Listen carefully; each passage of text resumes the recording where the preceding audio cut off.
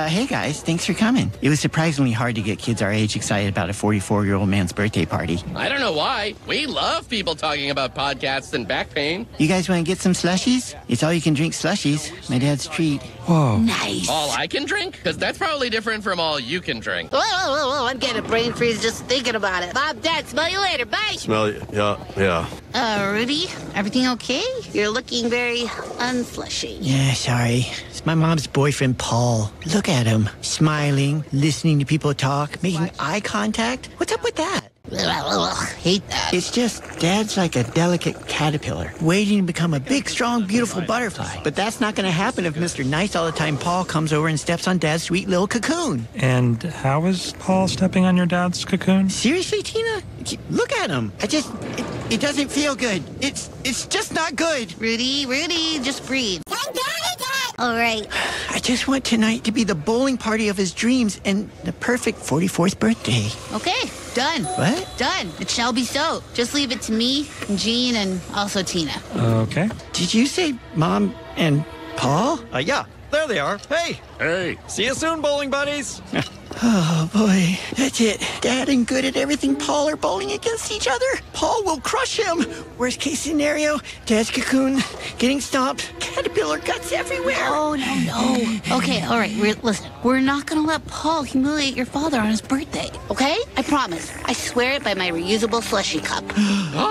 yeah, you heard me. Ow, brain freeze. Here, let- let me rub slow your down. head. Thank you. There you go. It still hurts. I know, let me It's- really rub it. Ah! Ah! I'm sitting here.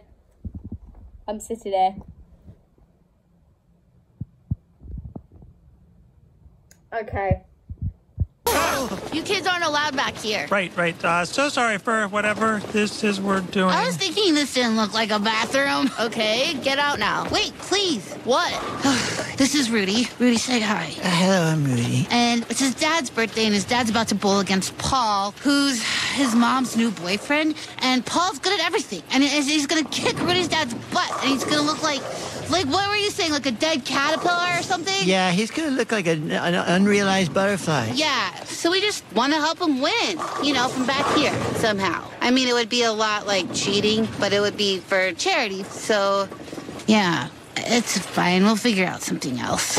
I love it. Uh, I feel like helping Sylvester by cheating is maybe not the best idea, and also just cheating in general. Tina, Rudy is our friend, and if our friend wants his dad to bowl an amazing game and teach Paul a lesson he will never freaking forget, that's what we're gonna do. Thank you. Yeah. Rudy, Rudy, can you hear me in there, buddy? Don't try and change my mind, Louise. And are you standing on the lanes? That's pretty frowned upon. Listen, we don't have to do this. Your dad doesn't need our help. There's a good chance he's throwing the game because he's a nice guy who's really good at bowling but doesn't want to make his ex-wife's new boyfriend look bad or something. And doing this plan could ruin everything. Stuff actually seems pretty okay between Sylvester and Paul. I'm realizing the person who doesn't seem okay is you.